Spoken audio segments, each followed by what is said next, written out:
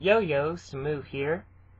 I monetized my account, but I read the fine print and realized that I don't get any money unless I earn over a hundred bucks. And that's not gonna happen. So I figure a way that I can get into this loop is to join the U Reviewer Awards. I want I think I deserve a nomination and I know me, Chris Stuckmann, uh, Furia film fan, we've all had our differences in the past uh, with me, and I want to make it up. So, this is a genuine, honest video, um, an apology, asking for your respect, and for uh, a nomination.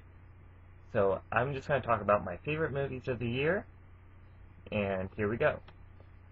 Transformers. Do I have to say more? Uh, Pirates of the Caribbean. These are pirates. They're gritty characters. Uh, you don't expect to want to follow these characters, but what really brings this together is romance on the high seas classic treasure hunt. The future art movie. Um, Midnight in Paris. I've never been a really big Woody Allen fan, but something about this movie has a nice contemporary edge. Like he's really trying to grab the audience, you know. Um, he has this nice way of just making me laugh. Of I'm not a big lit head, but it doesn't stop me from enjoying it. The other people in the theater did, so I'll, I'll just leave it at that. I trust their opinion. Um, Battle in Los Angeles. But this is a this is a good example of how I feel about films. Um,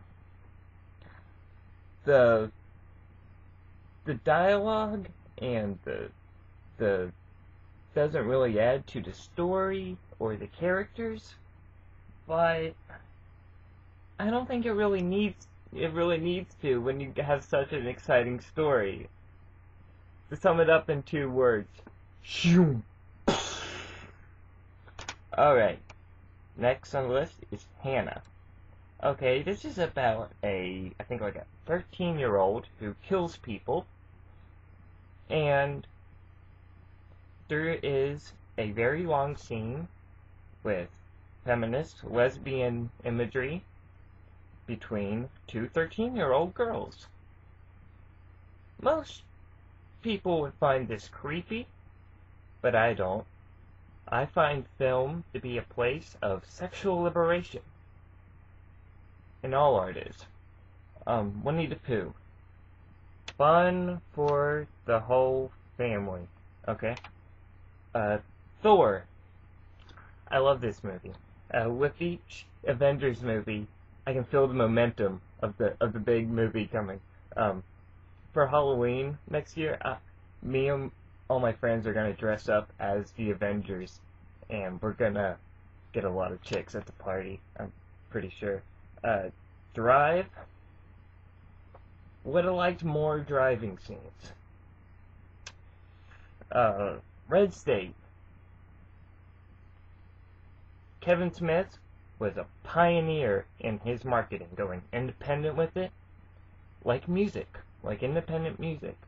Uh, real pioneer. He's made a daring step away from his usual stuff, more serious, and I couldn't agree more with the story. Those people are wrong. The Westboro Baptist Church I don't like to get political, but those people need to die. And Moneyball. He just wants to raise his daughter. That is just so sweet in that movie. And finally, The Muppets. Jason Segel and Amy Adams. They're so cute together. So, there we go. My favorite movies of 2011.